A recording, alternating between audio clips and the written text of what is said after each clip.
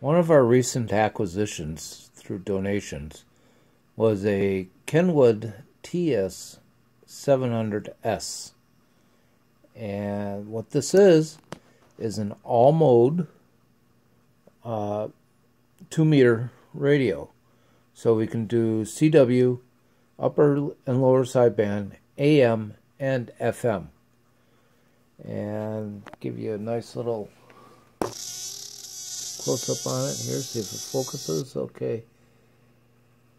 A little bit more control than uh, your uh, standard uh, Baofeng radio or uh, even uh, Yaesu, you know, you know, FT twenty nine hundred and so on and so forth.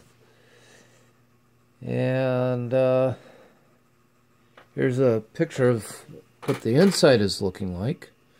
We could even put uh, some fixed channels down here, put some crystals down here, and have fixed channel operation, which would be extremely stable. There's already a set of crystals here. I think these are just references for the uh, voltage synthesizer for the uh, for the PLL. Um, I haven't read through the manual entirely yet.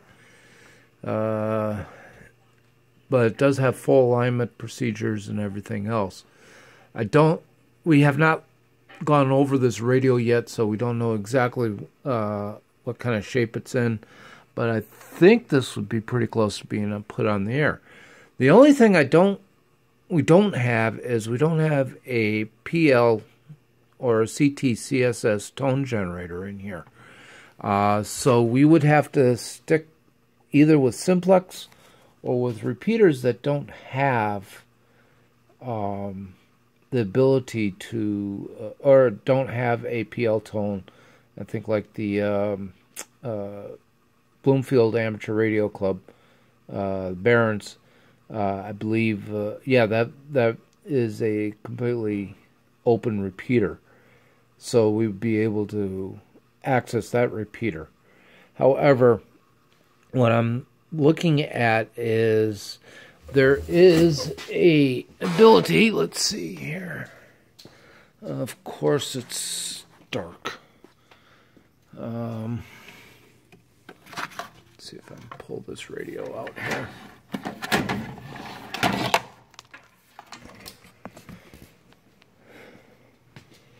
See this uh, this tone box here this box will allow us to generate the PL tone. And I don't know if this one is working because the last time I tried putting this on the air, someone said there's a uh, there's a lot of noise, a lot of uh, tone squeal. You're not supposed to be able to hear that tone. So uh, I know there are those uh, kits out there, and I think we might be able to uh, uh, insert that in with the uh, with with that Kenwood radio, which I think would be really really nice because then we could use this uh, for repeater operation as well.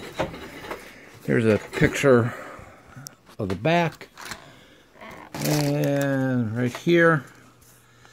So over here we got the antenna. Oh, come on, focus for me, please. Thank you. Got the antenna, you got a grounding. Heat sink. Over here, I was reading uh, manual. That is a, it says tone pad. What that is is for an auto patch, so we could hook it into the phone line. That's for a CW key. Uh, external speaker, 8 ohm. ALC input uh, I'm assuming you could probably have that come off of a off an HF, maybe even use this as a as a transverter. Uh, he, here you have a uh, uh, what is that? Something maker, RL make. I could not find a whole lot that in the manual, although I have not read all the manual either. This would be if we had an external VFO. The earlier models, the 700A, that was the Vox circuit. that this needs to be in there. Otherwise, uh, it will never uh, go into transmit because the transmit would be uh, permanently blocked. Uh, I'm assuming that's the same thing with if we uh, don't have an external VFO to plug in there. We need that in there. Fuse and the power. So we're going to have to make up a power uh, power jack. And then this is a switch go between 110 and 220 and it's protected to go stay on 110 right now.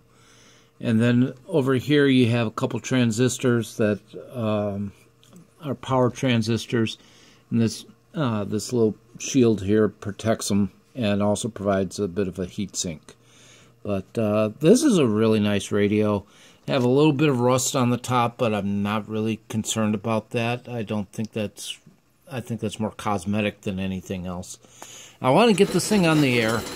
I was thinking it might be interesting to put this with packet, but it, it's such a such a nice unit that I'd rather see it in a, in actual operation. So, but uh, anyhow, so that is uh, that is something that we acquired, and we are looking to get uh, operational.